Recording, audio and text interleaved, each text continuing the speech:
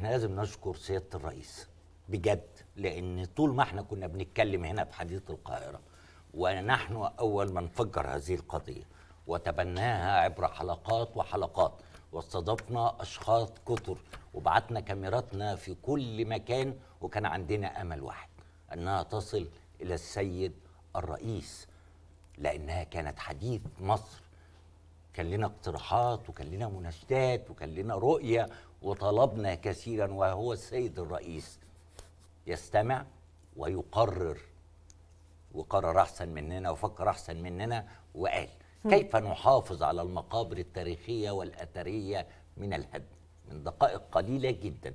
السيد الرئيس عبد الفتاح السيسي وجه بتشكيل لجنة برئاسة السيد رئيس الوزراء يضم بضم جهات من الأثريين المتخصصين والمكاتب الاستشارية الهندسية لتقييم الموقف بشأن نقل المقابر بمنطقة السيدة زينب والإمام الشافعي. اللجنة دي هتقوم بإيه؟ هتقوم بأعمال مهمة جدا. أولها هي تحديد كيفية التعامل مع حالات الضرورة القصوى اللي أفضت إلى مخطط التطوير.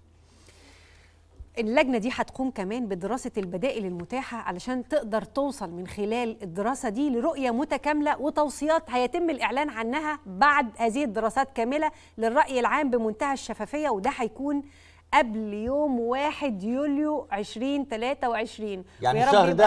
آه يعني آخر الشهر ده إن شاء الله وتبقى الأخبار مبشرة. لا بس الجميل بقى ما وجه به الرئيس. إنشاء مقبرة الخالدين في موقع مناسب لتكون صرحا يضم رفات عظماء ورموز مصر من ذوي الإسهامات البارزة في رفعة الوطن وتتضمن أيضا متحفا للأعمال الفنية والأثرية الموجودة في المقابر الحالية. أنتوا فاكرين قدمنا لكم هنا صور وتحف كمان هيتم نقلها من خلال المتخصصين والخبراء بحيث يشمل المتحف السير الذاتية لعظماء الوطن ومقتنياتهم الصرح ده هيكون شاهد متجدد زي ما طالبنا وبنطالب وهنفضل نطالب لأن كل اسم أضاف لتاريخ مصر يستحق.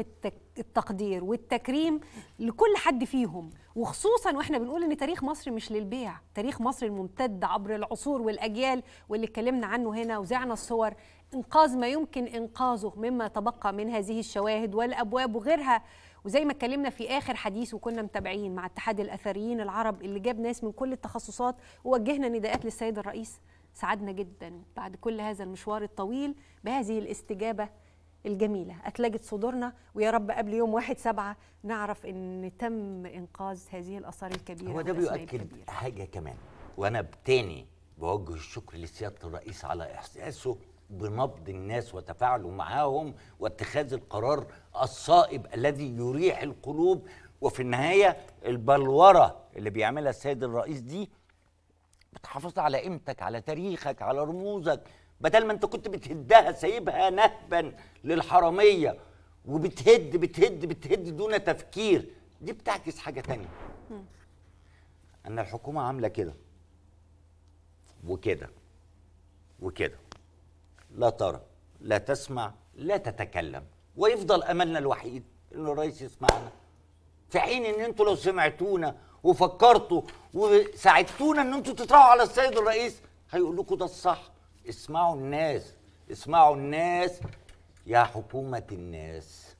وشكرا مرة أخرى سيادة الرئيس.